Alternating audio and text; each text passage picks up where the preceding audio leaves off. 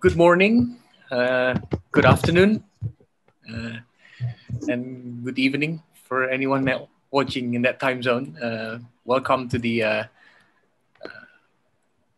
uh, Sacred Rhythm Reborn Unison Homecoming Intercultural Dialogue number four. so we have come a long way um, up to today. and also we uh, welcome everyone who have joined us only uh, today. Uh, that uh, the event has been going on for uh, nearly a month. Uh, tomorrow will be exactly one month from the very beginning in December 2020. so we have presented diverse musical traditions from around the world and also involving many uh, speakers in the intercultural dialogue from many disciplines uh, uh throughout the event.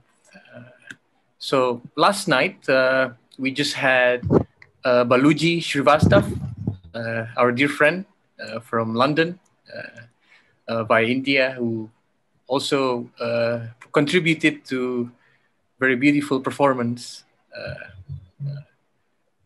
presenting some ragas with uh, several different instruments with sitar and also with the dilruba uh, and was followed by a traditional uh, string ensemble from Jakarta, uh, from the Betawi culture.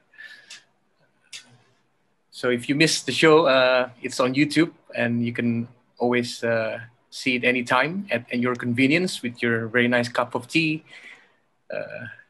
and you know don't forget to share it with your family because last night was beautiful. And of course the other performances too. If you miss it you can always uh, visit uh, the youtube channel. Uh, and for today uh, this is uh, the fourth uh, dialogue in the whole program.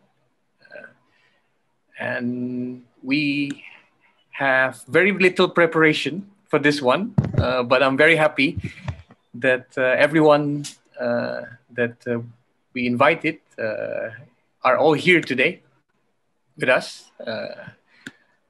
so the beginning of this talk, I remember that we chose the topic the post-truth world, which is you know the, the era that we're living now, right? With the amount of information uh, that we receive through social media, internet, you know, and you know uh, we're overwhelmed with it sometimes and we don't know which one is right which one is wrong uh, to choose from and that's become one of the challenges that we are facing today. Uh, and along the way we have discussion have discussion um, with graham and francois uh, and ended up it was just only graham that are actually uh, agreeing in taking part in you know under that topic uh, and the others aren't able to join. So then obviously uh, the concept has slightly changed. Yeah, although um, we're still uh, we'll be discussing under the domain of technology, of course, the dig- digital age. Yeah, so uh, we've agreed to finally choose the topic uh, the artistic collaboration in the digital age uh, for today. So the age of information uh, technology creates uh, new solutions, as we know, um, while similarly also creating uh, new emerging problems. Uh, you know, our analysis of the problems, you know, today in contemporary society, we must deal with, in particular, the fragmentation of social relations and also social isolation, right? Uh, uh, you know, exacerbated by the massive increases, you know, in social media interaction also and its power to replace our intersubjective interaction, uh, meaning, understanding, and love uh, with surrogates, you know, which impoverish rather than uh, enrich our social resilience and interconnectedness. Uh, so one of the main questions that uh, uh, myself and the team also have concern about is how can we empower communities, you know, to tackle the very issues that arose from technological advancement. Uh, and myself, uh, uh, not very good with technology. you know, I'm a musician and I play the guitar, uh, and so in in order to answer all these uh, complicated issues that we face today, especially dealing with technologies, and I believe it is not it is almost impossible not to invite addictive TV to be part of uh, creating this solution. Um, so welcome Addictive TV uh, to the dialogue.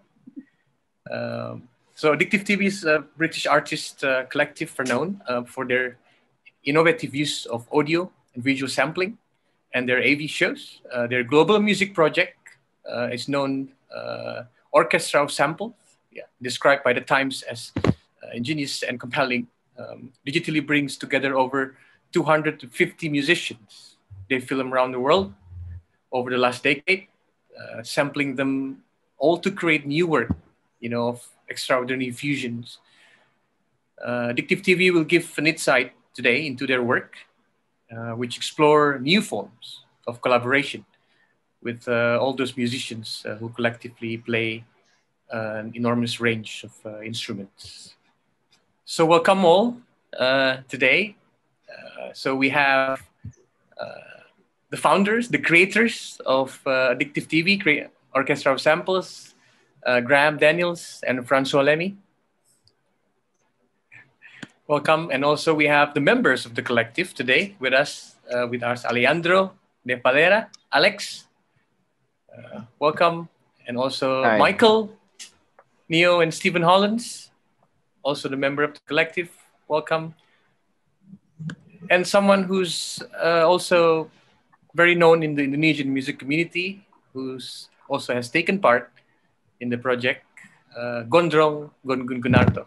Welcome from Solo. okay, um, so I think uh, we have uh, prepared some kind of a rundown for today, but uh, you know, it's best for us to keep it flexible, uh, of course. And for some of you who haven't heard you know about orchestra of samples or addictive tv project uh, graham will uh, start with uh, some slides and uh, a brief introduction about uh, what it's all about. So i'll uh, pass it on to graham. Thank you. Unless you want to say anything francois no that's all right. I'll, I'll join in when the time is right. Okay ah over to me i mean even though technology is a massive part of kind of what we do personally, sometimes I really hate technology, and I think I would rather go and live on a farm digging turnips. I think potatoes. I mean, it's um, yeah, technology is just it's just part of kind of what we do uh, almost by default. Oh, someone else just joined. Hold on, let them in.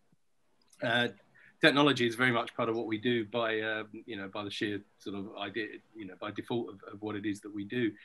I mean, in, in a in a digital age of collaboration, we've been wanting and have been collaborating with a lot of people for a long time. And something like Orchestra Samples, actually, sorry, hello, I'm Graham. Uh, I'm uh, I, I head Addictive TV, and uh, we're known for kind of doing AV sampling. We would, uh, I mean, we have a history of kind of sampling movies uh, and making and uh, mashups and doing kind of live shows that were based on kind of taking clips from films, putting them together and making music from the sounds that you see in a film.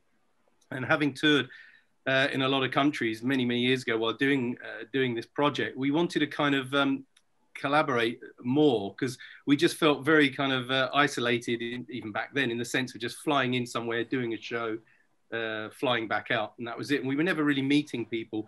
And, uh, and it was Francois uh, who originally kind of um, floated the idea of, of just saying, you know, everywhere we're traveling, why did, oh, sorry, someone asked me something no, uh, floated the idea of saying while we're traveling, why don't we stay an extra day, uh, an extra two days, and and meet up with lots and lots of musicians and record them. And that's where the idea of orchestra of samples comes from. The idea being is that we would slowly, slowly build up uh, an archive uh, of musicians playing traditional, newly invented, just very, very kind of different localized instruments all around the world.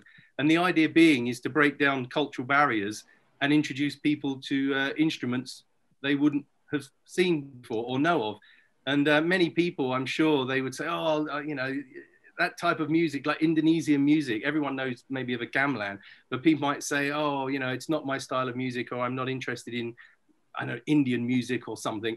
And the whole idea of, of, of orchestra samples is more like a gateway sort of project where people, you know, they can watch and listen to the music, and it's it's all created from sampling uh, bits of this archive. And um, and in fact, I'll show you. Uh, in fact, I mean, this is just like uh, example of these are uh, all the musicians, uh, many of the musicians we've recorded so far. And in fact, down there is, if you, you can see the mouse, is Gong Gong.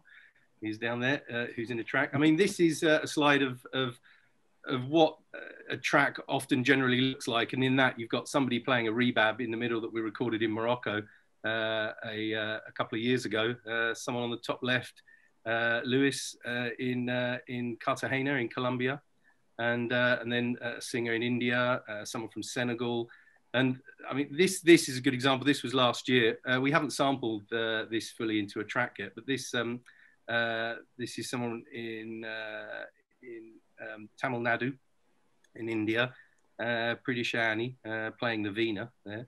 Uh, this is uh, in Senegal. Uh, this is that's a bass balalaika. They were in, in Poland.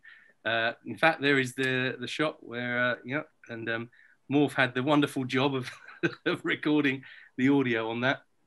And yeah, and in fact, I remember when we were doing that, me and Morph were doing a gig in Morocco, and and um, Sebti on the left there, who who we know uh, was working on the festival, and uh, and we spent the day just sort of going to to Tiznit, to a, a, town south of Agadir where we were performing, and we didn't know that secretly he'd he'd organised uh, this uh, this session for us, and we didn't even know. It was just luck that I'd taken the camera because I thought, oh, you know, take some photos, and we always keep the uh, the, uh, the, the, the recorder with us and the camera and everything together. And then by chance, he said, oh, I've organised. there to to record. So Oh, I thought it was Alex already starting some harmonics on that uh, fretless guitar. Alex is joining in. and, uh, Technology and, is is is yeah. uh, proving to be, uh, um, you know, always always there, isn't it? it's all, keep us connected. And this, in fact, uh, this image was uh, uh, Nur Handayani in uh, in Indonesia. This is in uh, Solo uh, in Surakarta. And we were working with the project, this was last year with the British Council. And while we were there, we took the opportunity of recording uh, a number of musicians, including Gongo. Mm. And, uh, and many of you, I'm sure, in Indonesia must know uh, this instrument, uh, the angklung, of which uh, th- this is a very sort of modernized, updated angklung, where he'd taken the because angklungs, you know, you normally you hold them and you shake them, whereas he'd built them into a frame where you could play them a bit more like a piano, and so you can see where his hands are. He would hit the keys, and he would have to shake it, and uh, the whole angklung would shake. And again, we haven't sampled that yet; it's quite recent. I mean, the idea essentially behind orchestra samples is that while having this this large archive, you know, you're finding it's a the matches, you're finding the uh, the samples that fit together. So it's a bit like doing a jigsaw puzzle uh, but you don't have the picture of what it is that you're making. And so, uh, you know, we would sit there and just listen to, to thousands of these samples and just see which match because everybody is improvising. Uh, and so the, the music doesn't exist beforehand. A lot of people, they see clips and they say, or they see the show and they say, oh, surely, you know, they must have been listening to the music. And you say, no, no, the music didn't exist beforehand. People just improvise and then we're sitting there and finding, you know, the bits that match. I, I don't know if uh, Michael or Morph, either of you want to jump in and add anything about that wonderful process? It is indeed a wonderful process. I like the. Uh, I always think of it as the sculptor who like reveals the sculpture within the uh, within the stone. Um, only That's in this a good way of looking at it. Yeah, in this case, we've got say 10, 20, 30 stones, and we kind of just chip away and eventually something will come up. Um, but yeah, it's very. Um, I like that. You know, it, it's very important to to really um, you know um, make this clear that the music wasn't there. Nothing was there beforehand. It's all drawn out of these improvised performances. Yeah. yeah.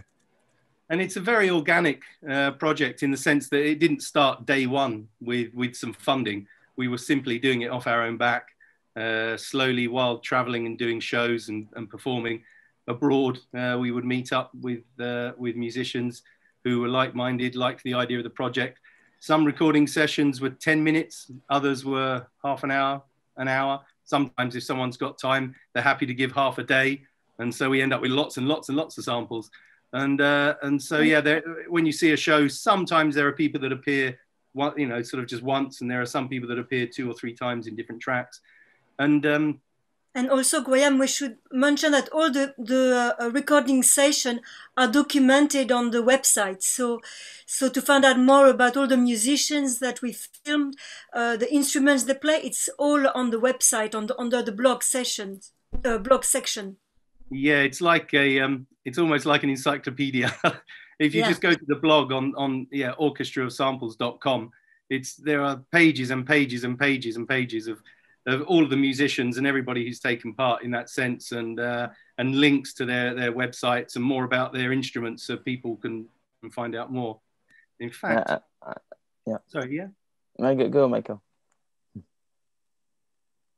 Oh no, I don't think Michael was speaking. Ah, okay. Yes, that's uh, one of the things that is very interesting because it's really like some of the um, of the samples are really made from traditional, very traditional uh, themes. Yes.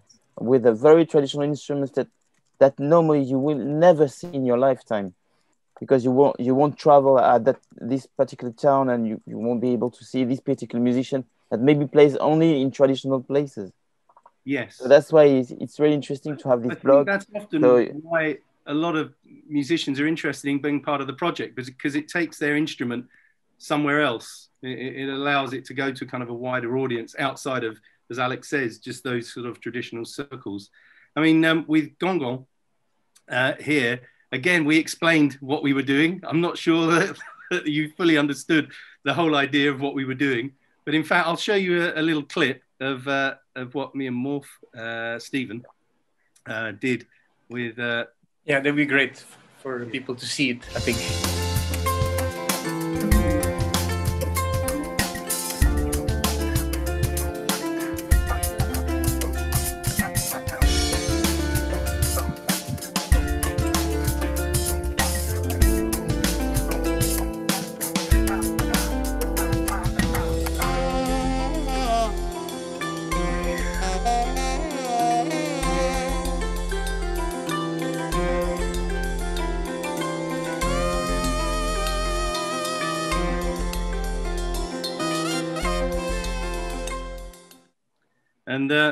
Yeah, I mean that that we were just stunned at the fact that, that the, the kachapi, uh, the red kind of stringed instrument he's playing there on his lap, that it fitted beautifully with uh, uh an instrument called a nadaswaram that we recorded in Tamil Nadu in India, which is often only used in religious ceremonies.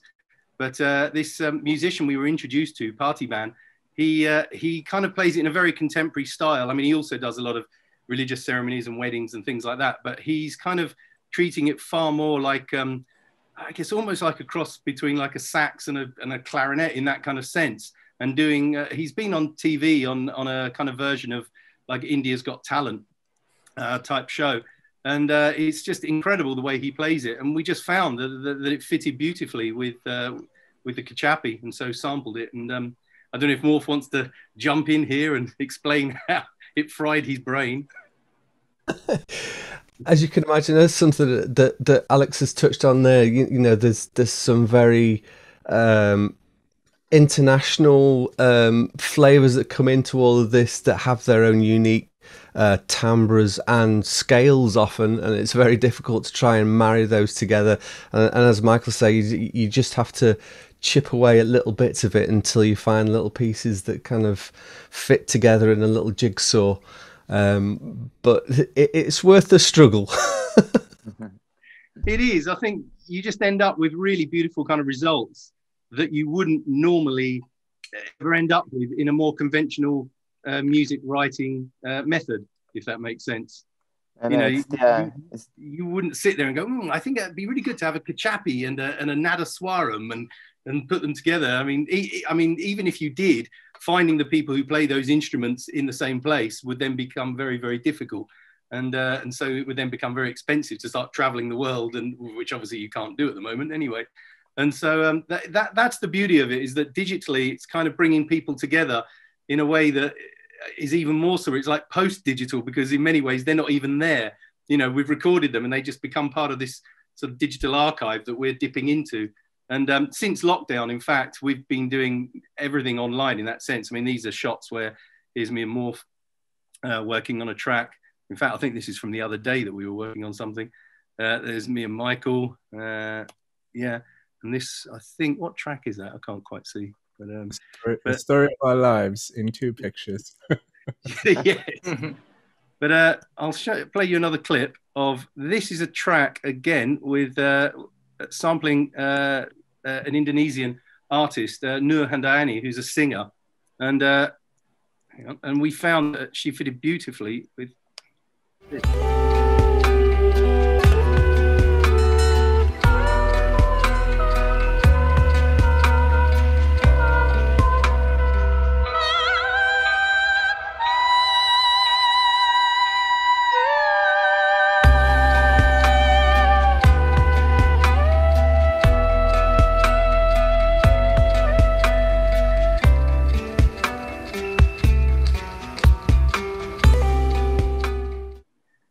That that track in itself is that, that that that was kind of brain frying. Definitely, you know, loo- looking for kind of things that, that all fitted together, and that's a mixture of uh, flute in India, uh, guitar uh, in France.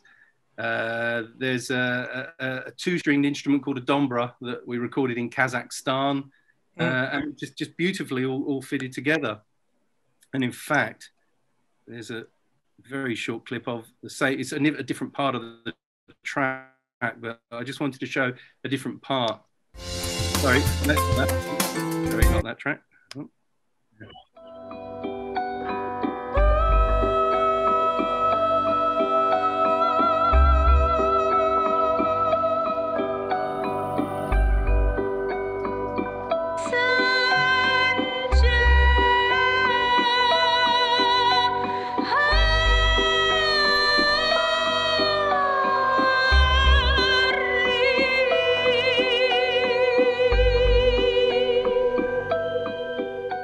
That guitar loop uh, we'd recorded oh nearly 10 years ago now. No no i think it is. Yeah 10 years ago. It was part of the first session we did uh, at a residency uh, francois had organized in france.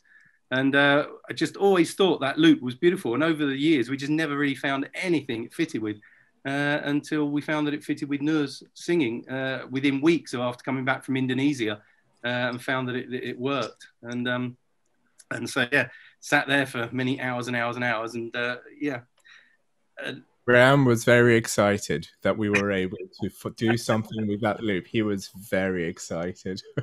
Just been sitting there. In, years done it. finally. yeah. But we take yeah, and we take the show out on the road. Uh, that's at the Quai Branly Museum in uh, in Paris. That's at WOMAD.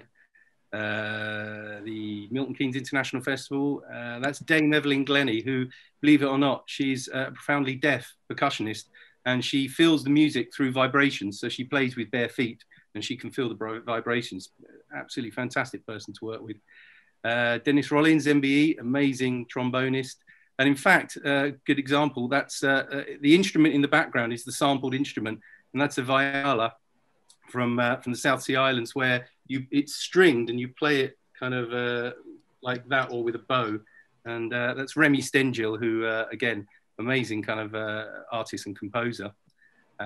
this was a that's actually a, in case people don't know, that's not a cello, that's a bass a bass viol. So it's five strings, not not four. Uh, has a very, very. It's good to mention, Graham, that as well um, during the gigs we invite local musicians, so so we often have guest performers, depending Sorry, on where we go. I should have said that. Sorry, go for it, Francois. Yeah so so sometimes you we we go back to the countries where we have organized filming sessions. So you would have the musicians playing on the screen and we could invite them to come and play with us uh, on with Graham and uh, and Alex on stage. So it's a real interaction between what's happening on the screen what's happening on stage uh, to create unique per, uh, experiences. Yeah it's, it's kind of just yeah. different Sorry, Alex, go for it. It's, it's going back and forth through digital and, and organic world all the time, yeah. in fact. Very much so. That's that's the beauty of it, I think, because uh, we live in a world where some people would just want to be organic, organic food, organic life, organic, etc.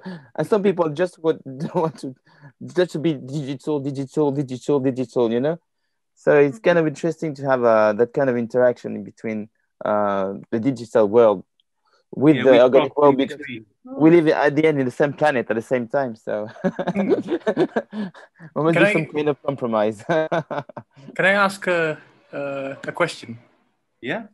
Uh, one of the most interesting thing I think with uh, addictive TV is, uh, as already mentioned, you know, um, you know, it was, it was, like a puzzle, you know, um, and it's very uh, related to you know the reborn unison obviously here you know we uh, uh, try to bridge uh, cultural expressions as mentioned earlier you know among the traditional modern you know and also contemporary communities uh, and try to kind of make sense you know of uh, from all these three uh, very diverse cultures. Um, and of course here we have uh, Michael, you know, who is also, you know, a musician, uh, and he's also a 3D specialist, right? Uh, 3D sound specialist. Yeah.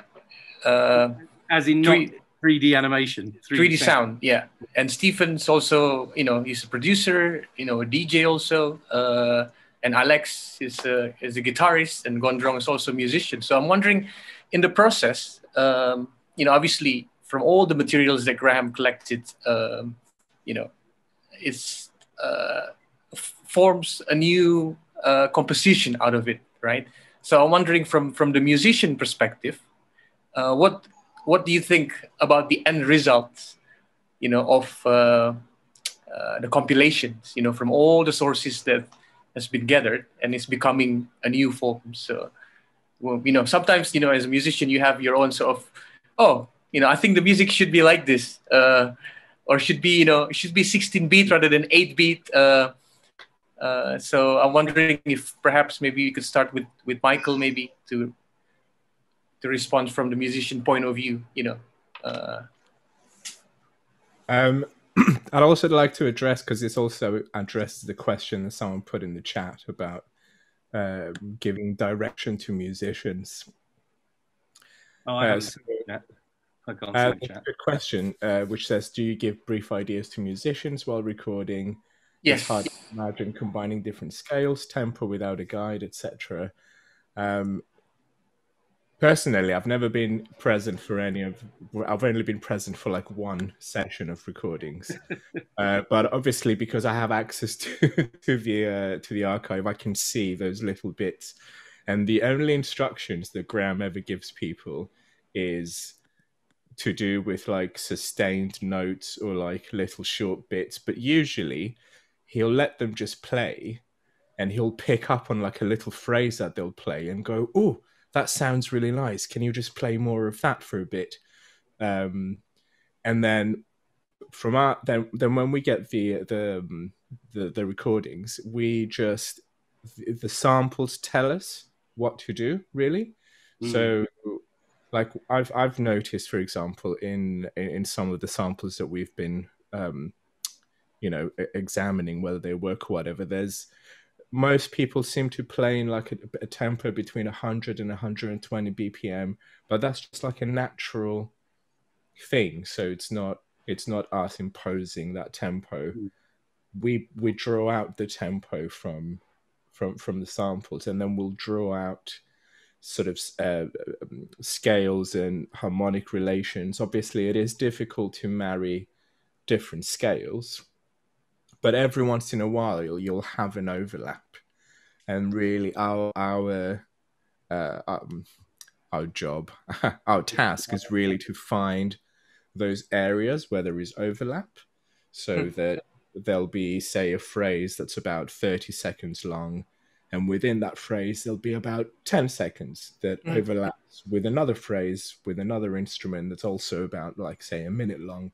So then we'll take those two phrases and put them together, and then we'll find another phrase from a third instrument that also overlaps a little bit with those, and they the the harmonic relations then are really drawn out of any overlapping uh, moments from different instruments.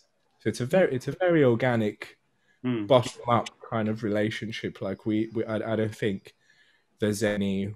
It's very like we. we I, I don't think we've in the tracks that I've worked on, we've never done a top down Hmm. thing. Where we try to fit things in in a prescribed way or Hmm. in a pre idea. Like all the ideas are drawn out from what people are playing.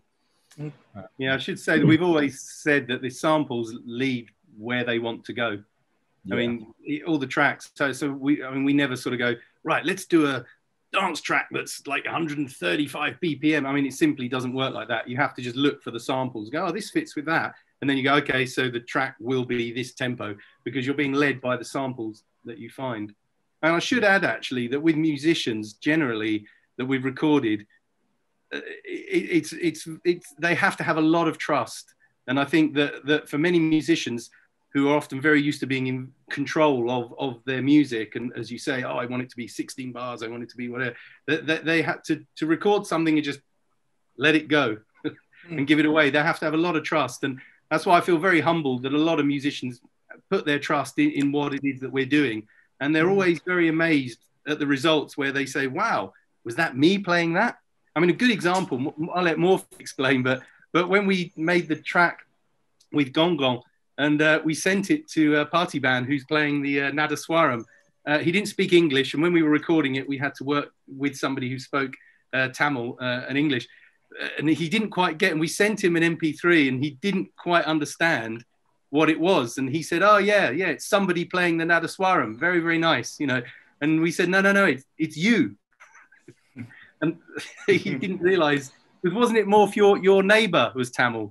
Our next door neighbour happens to be Tamil, thankfully. So he, I was able to describe the situation to him. He would write it down in Tamil, and, and then I'd scanned it and then sent it to Graham so he could forward it on. Eventually, the, we all came to an understanding, and that he was he was quite surprised in the end that you know it, it, that was him playing in the track. yeah, he didn't. right. And a lot of musicians they don't realize, unless obviously they see the video, they don't realize it's them because the way that it's cut and blended. It's um, Mm. That's interesting. There's always a surprise element then in the outcomes Yes. of every Yes. project. very much so. Yes. Yeah. And, But to to- answer, I didn't see the live chat actually, but to uh, to add to what Michael said, yeah, in general, um, when in all the recording sessions, we there is no predefined key.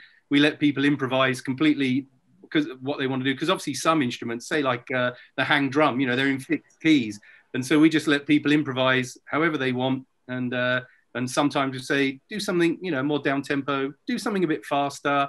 You know, I just, we, we just capture a range. And as Michael said, you know, when any of us hear something, you go, oh, that bit that went, you know, I can see that working with, you know, and Mm. I've got nearly all of the samples kind of in my head and and I can remember and sort of go, oh, that guy we filmed on the trumpet like four years ago, that would work well with what we're recording, and and invariably it's wrong and doesn't work out. But it's is- yeah. Alex what- phoning again. Yeah, No, no. yeah, but what is uh, very interesting about that project is that as a musician, when you improvise on top of it, it's like you never expect what is going to come. You you you can't tell in what will happen in within ten seconds or something.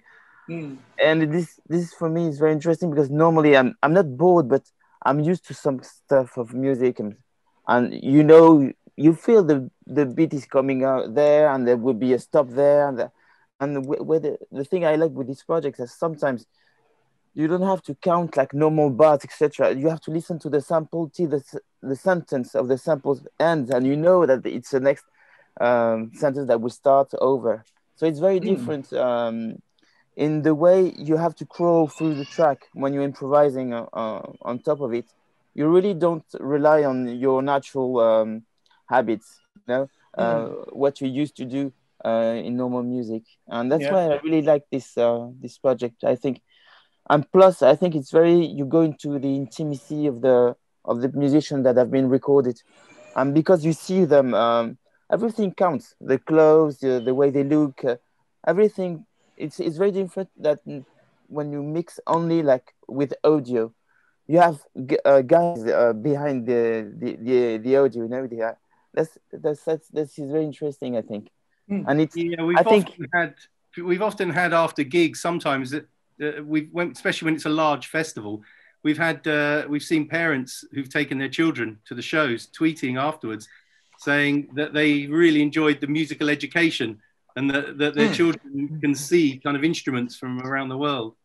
But no, while Alex was talking, I thought it's a good, good chance to uh, show.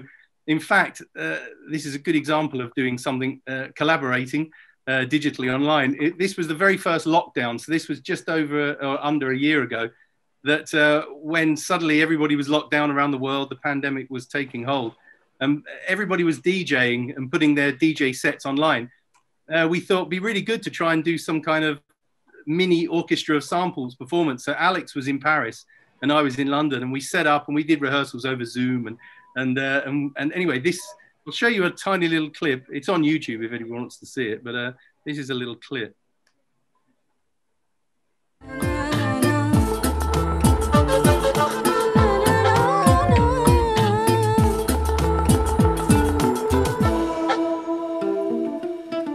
I've noticed uh, that Peter from Innervision.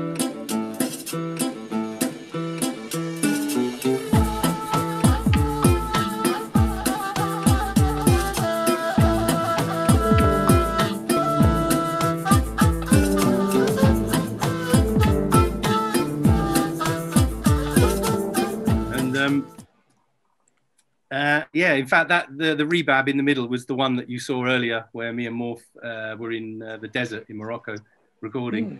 And uh, yeah, no, all hats off to Michael. I say on that when, when we were making that track, we were thinking there's got to be because because the rebab is is quite a difficult uh, instrument we found to find a really good kind of riff, and we were going through listening and then what about this one? What about this one? What about this one? What about this one?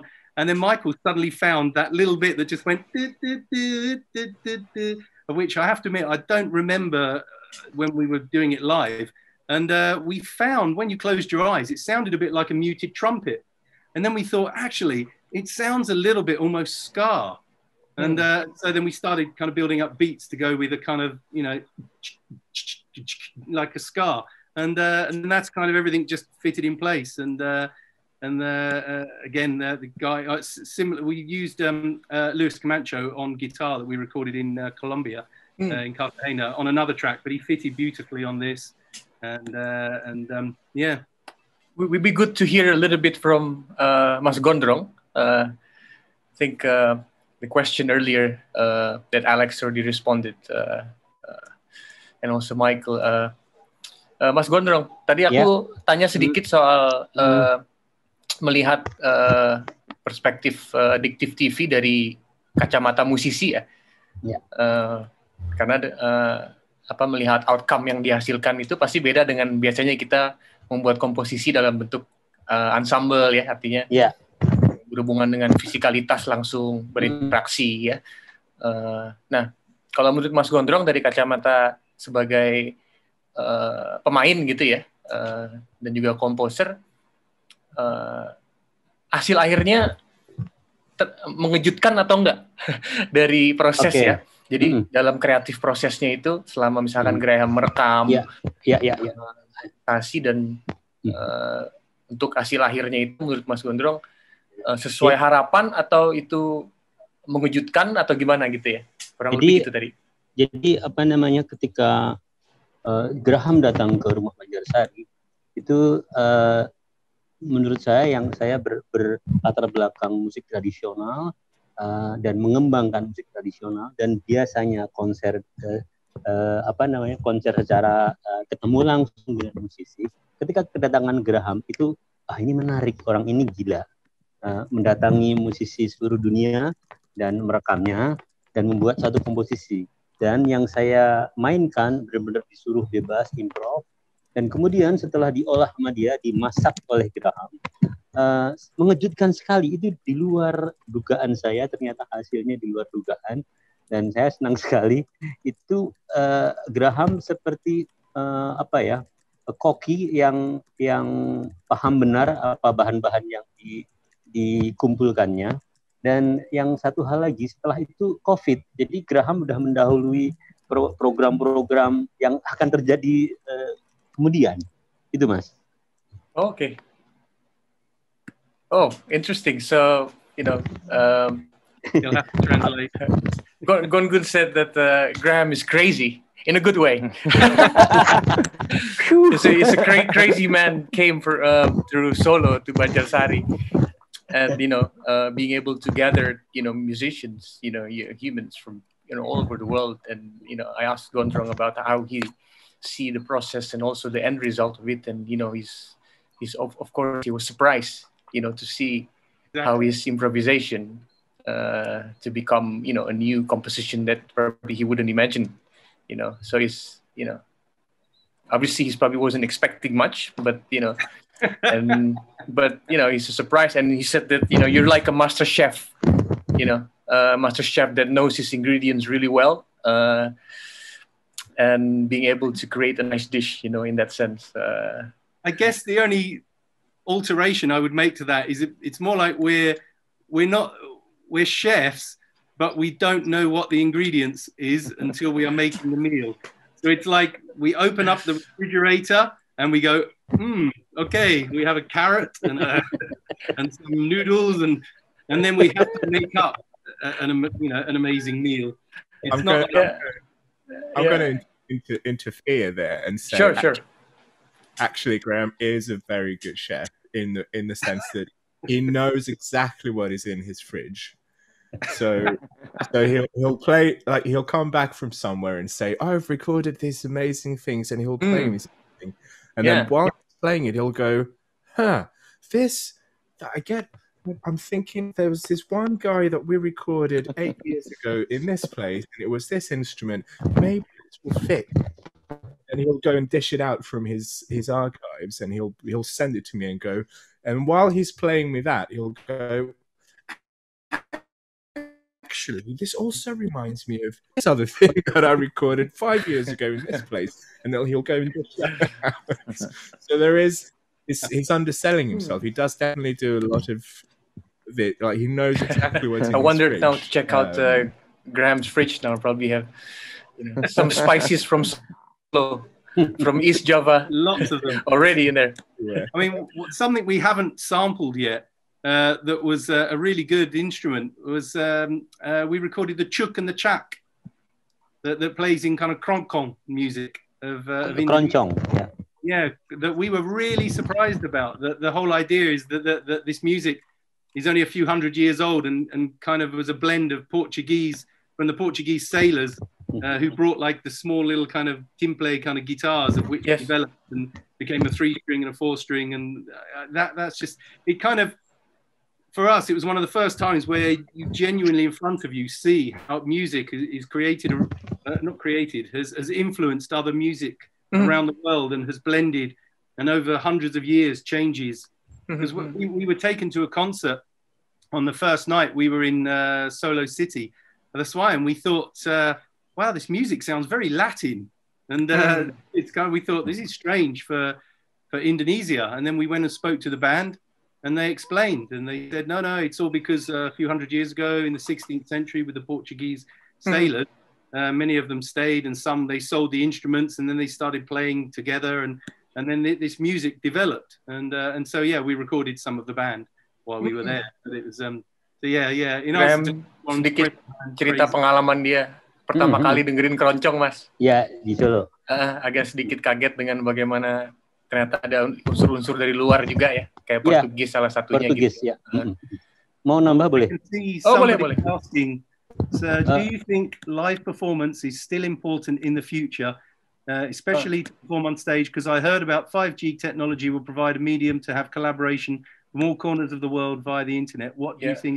Um, sorry, Graham. Uh, uh, Gungun wants to just say, c- continuing a little bit, I think, after that. Uh, Jadi- um, Mm. Ya. Set- Setelah apa namanya? Setelah Graham pulang eh, di Solo, eh, di di dunia, di Solo, di Indonesia kan eh, lockdown itu. Hmm. Terus setelah itu ada eh, new normal. eh, setelah itu ada konser eh, bantuan dari pemerintah dan saya memainkan eh, hasil karya dari eh, apa Addictive TV yang ka- kami ada di situ. Saya minta dan saya kolaborasikan lagi dengan gamelan eh, dan eh, live. Jadi eh, apa namanya hmm, diputar dan, dan saya main live. Tapi sayang hasilnya di YouTube kurang bagus. Tapi waktu itu Hmm. Graham juga tak suruh melihat. Artinya cara-cara Graham coba saya respon ulang dengan dengan mencoba mengolaborasikan lagi dengan live. gitu. hmm, Itu menarik di Oke, sini. oke. Di sini waktu itu di Solo saya juga cerita bahwa Graham sudah memulai apa kerja-kerja yang yang sekarang dilakukan. yeah, yeah, yeah.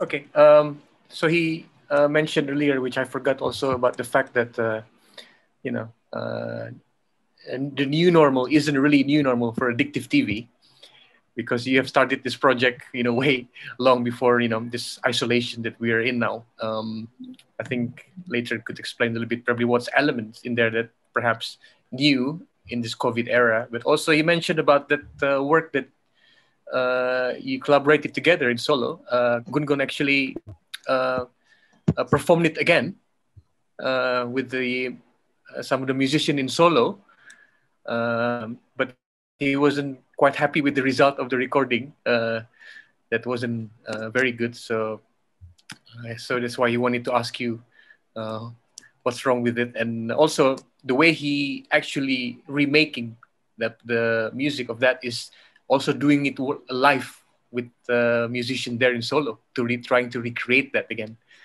Uh, that's all he's saying. Yeah. Yeah, no, no. I, I, I think what he was doing is very much uh, the same thing of when we perform uh, live, that the other people are performing with us, if that makes sense. But um, before I, I- in fact, I'll answer that a bit more. But can I Sure, sure. Alex- before because Alex has to leave in about. You're right. You're right. Thank you for reminding me that also. Yes. And so uh, Yeah. I, I, I'll just I'll pass over to Alex because he quite importantly needs to speak about his uh, particular kind of guitars and what he had. To, uh, And also, it's important. It's important to address a question from Boggs, right? Earlier. Tempo, and you know, Alex has the answer for us. I think. yeah, go for it, Alex. Yes. So the, yes, so this is typically typically um, a fretless guitar. Um, this is a seven-string uh, guitar. So uh, originally I had only six strings, but um, because I was working with Addictive TV and they really needed a bass, um, much bassy sound sometimes. So I had the idea to put to use the seven strings, and then I, I, I went further in the project, and now I have a eight strings, which is like fulfill every like uh, uh, that that fulfills all the scales because you can do very deep in the bass and you can still go very high uh, in the treble. So uh, yeah, so it's, it's it's really amazing because that project that there you see this is the the eight Mm. string which is um, a stock guitar. So um, uh, um, I've been working with Mathieu, which is a very uh, famous craftsman in, in, in France, and he's really a gifted um, a man, and he, he could he also he had the um, the cleverness to understand my my project and what I really wanted.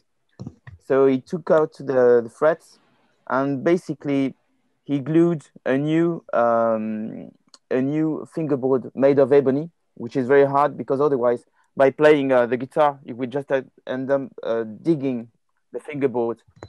So yes, so this is uh, you beautiful. So he had to order this special wood because normally it doesn't exist on that uh, particular um, width because no, it's even uh, wider than for double bass. you see, because usually it works for a lot of uh, double bass and and cellos.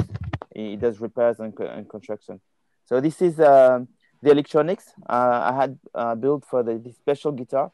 because a fretless guitar is very sensitive, and you so you need like very like I, I put two batteries to have a, a lot of uh, headroom and to have all the the clarity that you can uh, you can expect from that kind of instrument. Yes, so this is Matthew. Matthew. And so hi Matthew. so yeah, I warned him, so he will watch it on YouTube afterwards. Uh, so yeah, and so some very good collaboration with uh, this uh, amazing guy.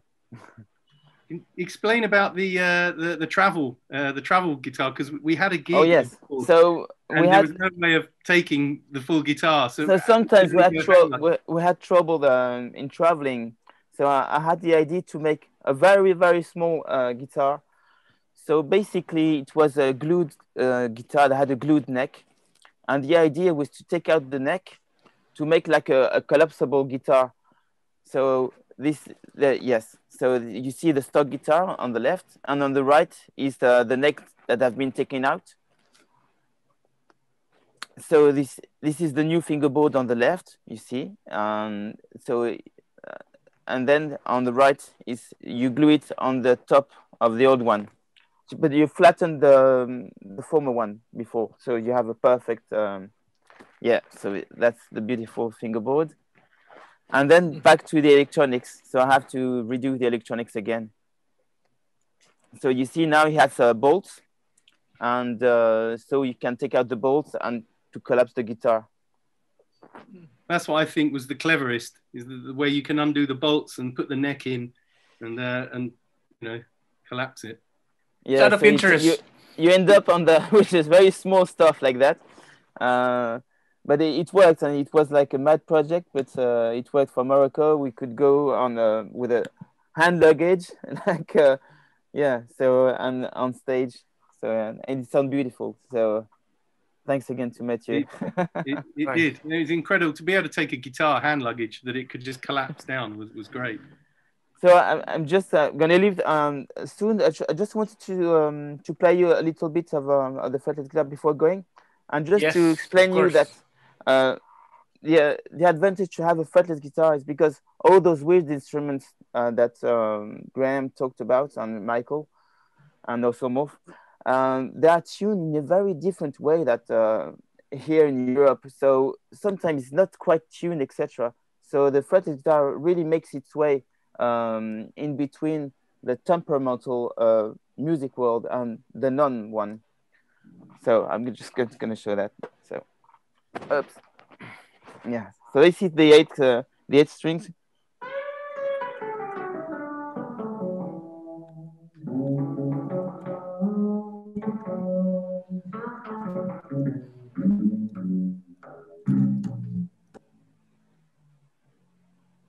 We can go very deep.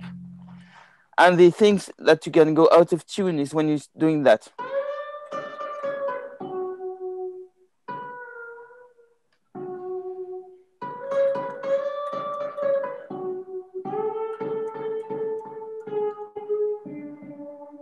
And suddenly we want to go out of tune. I'm back in tune.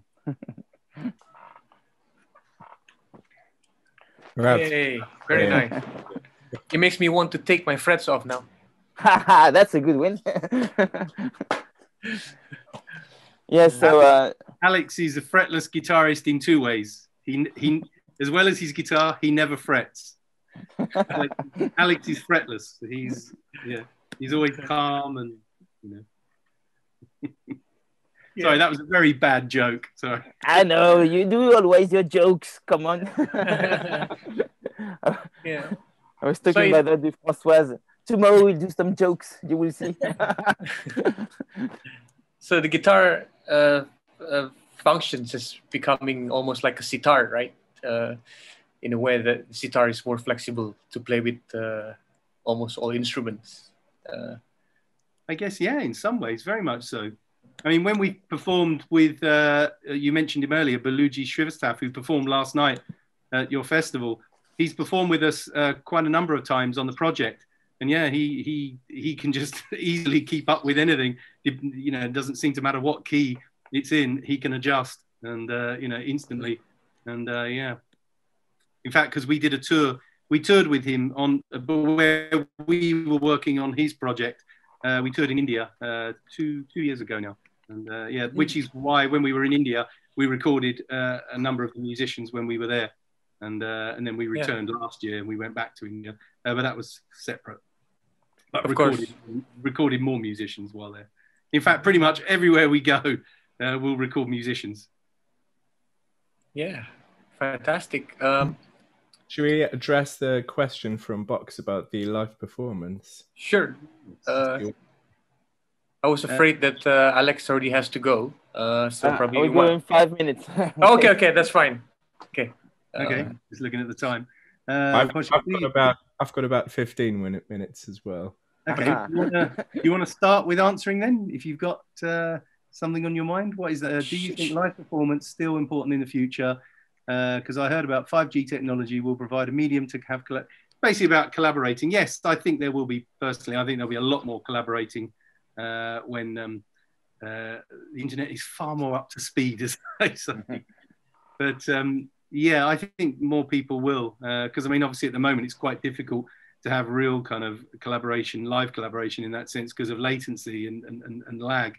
But um, I think that um, I think it will become more so. But I think also, though, getting back to what Alex was saying earlier about the sort of the analog kind of organic world, I think people do want to be together and they like to have that shared experience of being somewhere where somebody's performing music. Even though performing kind of online can be great, uh, it, it's it's just not the same as performing with an audience. It, it's and, really uh, true because I, I, think we've been deprived of uh, our common some of our, our common senses. You know mm. like the smells uh smell i can i, I think about smell about gigs but uh, yeah that kind of stuff you know that that's why um when the pandemic will be over it, it, it, you will i think you will see you will never see as many gigs as there will be. It will be amazing i think. You think so? No because there is really people want re- they really yes. Um, um because when you're deprived of if you're deprived of chocolate of to to, uh, to uh, a time very long and they want to go and eat your chocolate you know the kind of the thing. And that's really like i mean people have been deprived of social life etc and a gig is really um, an experience for uh, audio um, visuals but also you meet people for real you see? So it's uh and uh, humanity have been playing music for like always. So uh, and together also but before it used to be uh, around a small fire camp and now it's through internet because of the pandemic. But as soon as it's and it's over i think it uh, yes there, there will be a lot of, uh, of music has always been something that brings people together you know whether it's you know whether it's religious or within a community uh, or, or in, in the way that kind of music culture is now. It's always been about bringing people together. So i think alex is right that when when the time is right it needs to happen again. And in all over Europe, the music industry is pretty much closed, you know, and in America and pretty much around the world. And so, in that sense, people are waiting for festivals. They're waiting exactly uh, after uh, the the first Great War, for instance. You, you had the, the year twenties, and it was crazy. Yeah, yeah people the, like yeah, the they really just just just wanted to have fun, to go out and and to, mm. to, to live a good life, you know, because they knew life is precious, especially. Yeah, I, I, I, I would like to add to that and say that actually what what we may end up getting would be an explosion of live events, but also then an explosion of those live events being shared online so that we can because now that we've gotten used to accessing things online in that way, you'll probably end up with say, uh, you know, a festival like WOMAD having like an online presence at the same time as the the actual thing. So you'll you'll you'll, you'll probably end up with people buying like the online ticket because they're in in in China or in Japan somewhere or in mm-hmm. France. Yeah. But they still want to be part of it. So you'll end up with people in the place, and you'll end up with a few thousand people online accessing it, and maybe yeah, and, and I was talking with with Francois. Yeah, maybe you will have kind of a, some live promotion just before the gig, for instance, or the day before. You see, Michael. Yeah, that, that, kind of thing that you can't do now. But uh, I think this will replace the trailers and that kind of stuff. Uh, you know, probably. I think. Yeah, right, yeah I think that, okay, guys, I must leave. Sorry. okay, Alex. Okay, Take Alex. it's been very nice. Thank, Thank you, you, Alex. for organizing uh, organizing you. everything, and and take care, you all. Okay, bye bye. Bye bye. Bye bye. Thanks. But I think uh, that that, that in, in the future, I think that even conferences will similarly they will become like a hybrid. I think that people will always, you know, because it's you know it's proven the way that you can have panel talks, and you know, like we're doing now. And so I think it opens the scope out more because we've done a lot of panel talks and been at conferences where sometimes you know it's it, it's either too expensive for people to fly you to somewhere or something and i think that that you will see live events also having kind of online panels and everything i think will be a a, a hybrid. I don't think there's suddenly going to be a return back to everything being live and and everything online will stop. I think it, it will be both. Hmm.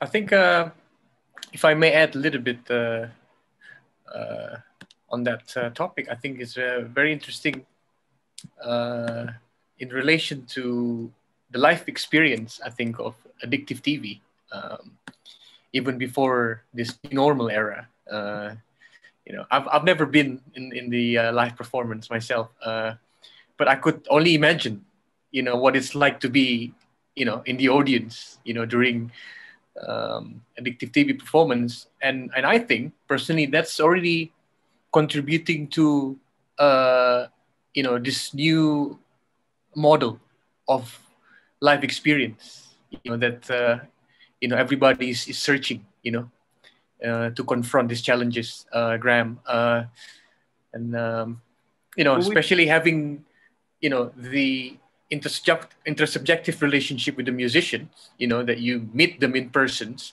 You know, and you projected them on the screens. You know, and you have live musicians on the stage. You know, with you doing some live sampling at the same time. You know, that's already kind of you know having three layers. You know, of, of of experience in there and you also broadcasting through youtube so you know and i think you know that's why you know uh, we bring addictive tv here i think you guys are already you know on its way to answering you know this concern we have towards the future you know Well, I think our shows are always about wanting to take people and take the audience somewhere. Because I, I just think, particularly, that, when you work with, with images as well and video, it can take you so much more to places than just the music on its own. I think that when you can see the music, uh, I, I think somehow it, it kind of does more to your brain than, um, you know, I mean, for many years, people have always said, and just listen to music. But I always think, no, no, open your eyes and uh, you know, sort of, you know, let a thousand volts go through your eyes and, and and be taken somewhere. I mean, it's kind of, it's like a cross between cinema and and uh, and and a live concert. I mean, in, in many ways, it's live cinema, and that goes for not just Orchestra of Samples. It's the other show as well. When uh, you know we've cut up movies and done mashups, and you know, and and it's it's kind of like um, we would always say that if you had like a, a blender, getting back to the, the analogies of the kitchen, if you if you took Netflix and you put it in a blender and you know that that's kind of you know what our other show would be like. It's like completely crazy, and sometimes after an hour, people's brains are fried and they can't watch much more of it. But that's why with orchestra samples, it's much more kind of you know, it's uh, it's uh, easier on, on on the brain. But um, it's I'm yeah. gonna I'm gonna interject to add something as well, but also because. I, I really need to go. Um, I really really need to go. But I just wanted to say from like a um, fr- fr- from a, a scientific perspective about how uh, memory and and um, and how, how we connect with things. There's a very strong um, ha- having that visual uh, element where you can see the people playing um, really um, sort of uh, it, it makes it conducive to feelings of connection. So I agree with like what, what you're saying, Graham. Like, but there's also there's a, a, a lot of research. It just so happens that I've been looking at a lot of research at the moment regarding this, and a lot of research research sort of points towards um, when you're able to observe someone doing something, anything, even the simplest thing, but especially with music, you a little bit of it you embody within yourself. So it really adds to that togetherness. Um, you know, it really promotes that togetherness, and I think the which is at the heart of orchestra of samples to bring things that wouldn't be together together, and then giving that experience to people in a in a live setting where they can see all those different places and different people playing together. It's like so many levels of togetherness that it, you know, it's it's yeah, it's really powerful. Um, I never looked at it in that way. All the years we've been making this, I never looked at it. I guess I know. Well, I know. Uh, when you study kind of the psychology of music, as you currently are for your PhD, I guess you'll discover that kind of thing. Yeah, I suppose I'd never really looked at it that sense that, that, that what the images and the video adds to the music is that by just seeing it, you comprehend it, I guess, more yeah, and yeah. differently than just hearing music on its own. Yeah, yeah, because when you when you've just got the sound, I mean, not not to not to discount the sound at all, but it's it's uh, when you've just got the sound, it, it, you you connect to it from your own personal experience. Mm. So you bring up your you know your your own sort of connections to it. But when you see it, it gives you that little bit of context mm. and allows you to connect specifically with the context of that instrument or the context of that the cultural connotations behind an instrument. You see something played in India, you feel a connection to that. So there's it's there's a lot of power there that is still unexplored. Um, I guess yeah. without, that's why I guess over the last you know hundred years that, that with the invention of, of recorded music, live music still exists. In other words, it didn't you know there like so many things when film came along, people thought, oh, you know, theatre's going to die because there's film with photography, oh, you know, painting is going to die because people can just take photos. And I guess people never think of it in that way. That I guess, of course, as soon as you've had recorded music, people probably thought, oh no, you know, no one will want to see live musicians anymore because you can only you can just listen to it. But of course, no, people without probably going into the kind of intricacies of the psychology of it, people just want to be connected to the musicians they see performing on a stage. Yeah, exactly, exactly. I think yeah, it definitely promotes more togetherness and more connection and more empathy and more um yeah more desire to be a part of it you know? Yeah. Um, i really really need to go. I'm gonna have to bid you all farewell. Okay. We're all dropping like flies now. um but yeah thank you for uh for for, for inviting me and for being a part of this. I'm looking forward to watching the rest of it. Thank you. Thank you michael. Neo have a, have, have a nice day. Have a good day, everyone. I will see you soon. Enjoy the lecture. well, this you know has been very nice uh, discussion. Um, we are already uh, going over the time. Uh, and, Any more uh, questions? I already asked everybody if they want to ask anything. Um, as we know that uh, Mas Gondrong is also uh, is uh, having also an event tonight uh, yeah. at uh, 8 o'clock. Uh, bukan musik biasa, seri 79, 79 yeah. series already. Yeah. 13 uh, tahun sudah. It's Lebih. 13, 13 years. and it will be starting uh, in just over two hours. Um, two hours. Yeah. Um, Gong Gong, are you performing tonight at Banjasari House?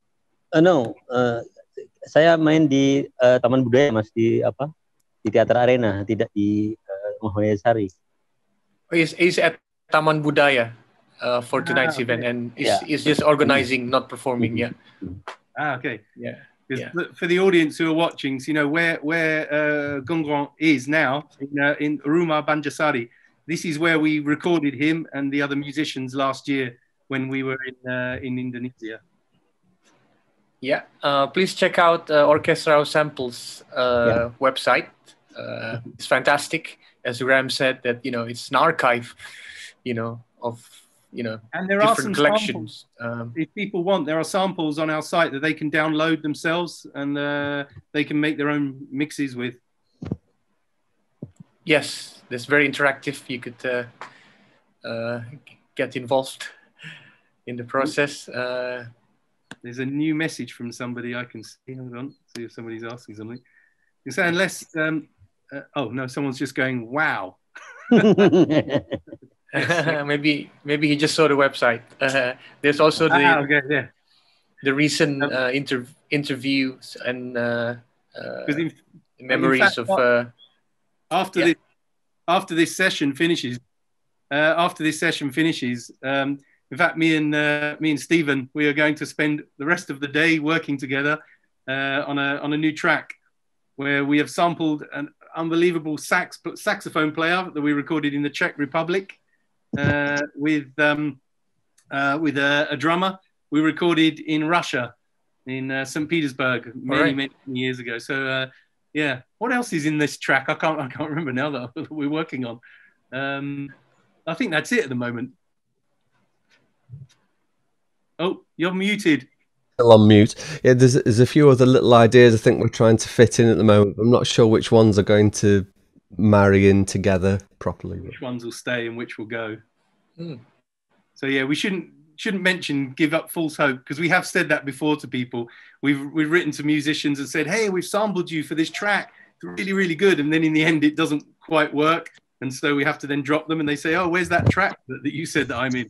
And then we said, oh, actually, we had to change it. So so it's best not to tell people now until we, when we finish. well, thank you, Francois, for. Uh giving all the uh, in the chat box. You can yes, yeah. go directly I, I, to. Yeah. yeah, I posted some some links uh, in the chat box, but also as Graham mentioned on the website orchestraofsamples.com, there's loads of resources information. Um, mm. And also, we will be doing more uh, remix workshops and Zoom session in the future. Um, in the UK, we are planning to film more musicians, so creating more work this year. So to keep creative and keep connected with uh, with the world and the musical uh, world. So yeah, we've been Fantastic. fortunate enough. We've been fortunate enough uh, to just receive some funding uh, to continue more production uh, of the project uh, that we applied for to, to the Arts Council in the UK, which was great. And so it enables us to, to film more musicians, make more work, and to run some some workshops. And so um, so yeah, we'll be doing that this year. So if anyone wants to, to know what's happening, yeah, just either uh, drop a, a, message to us, uh, sign up to our newsletter, uh, or join us on our Facebook page. And Francois will always, you know, post and let people know. And the Facebook page is Addictive TV. So yeah, facebook.com forward slash just Addictive TV. Great. And hopefully, as described by the UNESCO, uh, most uh, the magazine is a musical journey without borders, and you know this is you know very yes. in line with uh, what Sacred Rhythm and also the Sacred Bridge uh, you know has been uh, confronting over the last 20 years, uh, and you know I'm very happy that we are connected here. Uh, but for us, that was we, we funny thought... thing is that we we've started to be connected in the era of COVID, and also with Gondrong. Also, it's uh, it's a fantastic connection uh, that finally, you know, we can. But we did come to a few of your concerts in London. Yes, that's but, right. Um, no, the uh, we, we, felt with uh, the um, UNESCO uh, connection, it, it, very much felt like uh, an endorsement of, of the project of what we were doing because last year uh, it was an honor to be asked that just before the, the, the UK on the la- uh, it was like two days before the last official day that the UK left the European Union uh, because of Brexit. The uh, we were booked to, to, to perform in Paris at the Pompidou Center, and the Pompidou Center were doing this whole project about breaking down borders and, and the world coming together. You know, in a time of just before the pandemic, strangely enough, mm. about about collaborating and that more people should collaborate. And because of Brexit, they wanted uh, a, a UK-based artist and, and British artist to perform in France, but with a very international project. And so we, we performed it, and, uh, and we didn't know that in the audience there was somebody from UNESCO. And, uh, and they, they came up to us and they said, This project, they didn't know of it. And they said it was amazing and uh, they really, really loved it. And that could we write uh, an article for them because they were launching a magazine. So I don't know if Francois has the uh, article, if you want to post a link, Francois. And I think uh, I, I posted it already now. Just oh, you have? Yeah. Oh, yeah. Oh, yeah, yeah, okay. Thanks, Boo Boo. That's So the yeah, they asked us to explain the, the the project and the history of the project and the whole idea of music without borders, and uh, and that's uh, that's what we wrote. And um, the the most frustrating thing was they asked us to perform at the headquarters of UNESCO uh, for the launch of the magazine, but it had to be cancelled because it was in uh, June, right in the in the middle of the pandemic and lockdown, so it all had to be cancelled, which was a real shame. Mm. But they launched the magazine anyway, and the articles online. And, uh, fantastic fantastic yeah. uh, well thank you for you know graham francois for sharing this you know very beautiful project uh, and i think more and more people should know about it uh, without doubt uh, and you know just thank Thank you for you know opening your you know your heart and you know the doors to indonesia and you know all of our audience in here and you know uh, Thank you hopefully very much. hopefully Thank we can have much. you both here and in solo with Mas Gondrong again in the in the near future. Yeah, no, we, we want to come back. Uh, Yeah. we'll we'll keep I in want- I touch, want to- obviously. I Uh, want to buy some more Indonesian shirts. I, I bought this shirt in Indonesia. yeah. Um, Gong, Gong, Gon Gun knows all of the best places to buy shirts. Gimana? Ah, Gondrong Gondrong knows. Uh, minta someone's saying nice batik. Thank you. Oh, It nice was. batik. Yeah. Some of the Nanti tak- batik you find. Nanti dicarikan di Klewer, Mas. Oh, what's he say? He's going to find it for you in Ah, in Klewer. Yeah. so many of the batik are like amazing and beautiful, and some of them are like uh, they're like a very bad headache. so it's like trying to find the right batik that, that looks really good. Yeah. And don't forget, um, everyone, um, tomorrow will be the presentation day uh, for uh, Orchestra of Sample. Yes, Uh, see the online performance. tomorrow. Yeah, and yeah, tomorrow is also is part of the closing gong of the Mm. homecoming. So we have come this far. It's uh, tomorrow is exactly one month since we started this project. Uh, and tomorrow we have uh, a series of lineup and uh, orchestra of samples will be closing on the day and we'll begin with another dialogue an extension dialogue of immunity in community which uh, hopefully all of you can also join that um, and we have dr chinmay munjay and uh, jonathan page from the Nan Tien institute and from the uk will share you about the importance of immunity uh, and the impact um, and how stress can you know uh, impact our daily life in this covid times. Uh, so please join tomorrow if you can and it will follow by the performance. Uh, and on the 31st um, it will be the final closing. Uh, we'll be doing something special via zoom uh, at 4 p.m jakarta time. So we're inviting all participants uh, to take part in it uh, and again we'll follow by uh, a long uh, session of performance after that so okay i think uh, we're uh, can end the dialogue for today Yes. uh, there's so lo- lots of information to digest. Uh, uh, thank you, Stephen. Uh, thank you, Mas Gon Gun. Uh, Sama-sama, terima kasih. also- Thank you semua. Thank and you. Alex, who's not here. Uh, and Michael, who just left also. Graham. Uh, and Mas Oi, who's behind the Zoom, who's the technical hosting for today's dialogue. Uh, and of course, all the volunteers uh, of, of Homecoming uh, in Bali, in Jakarta, Mm. uh, and all our partners, musicians that have made this event uh, become possible. So, you know, it's been a wonderful and enriching journey for all of us. Uh, No, it's been great. Thank you. Thank you for asking us. So stay safe and healthy, and we'll see you very soon. Definitely. Yeah. Take care, everybody. Okay. Terima Maybe we'll kasih. take. Should we take Okay. a picture? One picture. Okay. Yeah. Yeah. Let's take a picture. Maybe if everyone wants to turn the camera on, they're welcome to. Okay. Uh, but if not, then Uh, I think many people want to hide. it's okay. There's- there's- yeah. Halo, Mas Agus. Selamat datang, Boga. Wah, Ah, beda. that's looks like. Who likes batik shirts?